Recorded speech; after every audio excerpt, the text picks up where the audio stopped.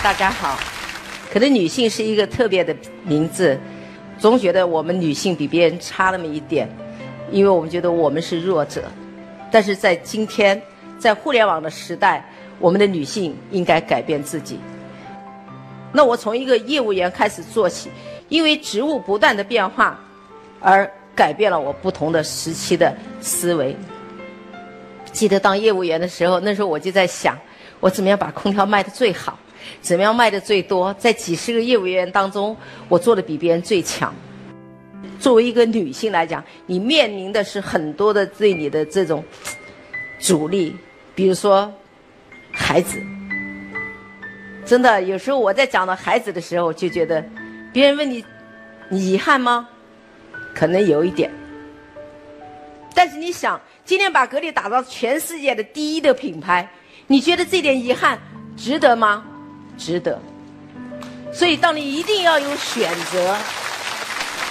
第二个，可能你失去了亲情，因为我当部长的时候也是同样遇到了一个问题。我们的商家到了旺季的时候，就希望能多拿一点货，就可以卖掉，就可以赚钱。当时我们有个经商也是找到我的哥哥，就跟我哥哥讲，说：“哎，你帮我去拿货，我们给你点好处。”那我哥哥当时听到很开心了，啊，就打了电话给我，说：“哎，明珠，我要到珠海来。”我说：“你来干什么？”他说：“我们想来拿货。”我说：“你拿什么货？”他说：“我要空调。”我说：“那你来拿货有什么好处啊？”他说：“有啊，我帮他拿一百万货就可以给我两三万块钱。”他心想这话告诉我一定很高兴，因为他也可以挣到钱了。但是我听完以后，我就告诉他说：“你不要来。”我就把电话给挂了。这时候我就打电话给经销商，我就跟他说：“我说听说你找我哥哥了，所以我当时跟他说，我说对不起，现在停你的货了。”他当时一听就傻了，他觉得董明珠是一个不食人间烟火的人。我给你的这么好的机会，你哥哥能赚到钱，你为什么不给我货？但是我告诉他，我说如果我让你通过我哥哥能拿到货，虽然格力电器没有受损失，因为卖给谁都是一样的价。我哥哥得利了，你也赚到钱了，看上去是很很好的一件事。但是你有没有想，我破坏了一个规矩，破坏了一个制度，我们手下的人都跟我一样的去学，那格力电器还有诚信而言吗？商家还相信格力吗？所以当时我把这件事做完以后，我的哥哥从此以后不再认我，他觉得这个妹妹太不讲人情了，就是那一年。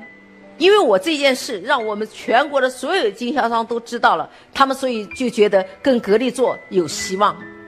从九五年到一四年，从二十八个亿到一千四百亿，这就是我们讲的，我们有时候要为了一个大，而放弃一个自我，而且这一个私利，你更应该把它放下。讲了这么多，我们女性要看得起自己，要尊重自己。我们很多有的大学生毕业以后，我觉得很惋惜。有的女孩子真的是很漂亮，又有才又有貌，有这样的好条件。我们学完了知识出来以后，我们找一个富翁绑了一个大款，好像完成了我的一生。我觉得我们女性最成功的一点，就是要能够为这个社会把我们的智慧释放出来，因为我们的智慧能改变了别人，甚至于因为我们。能成就了一批人，这就是当下的我们的女性。谢谢大家。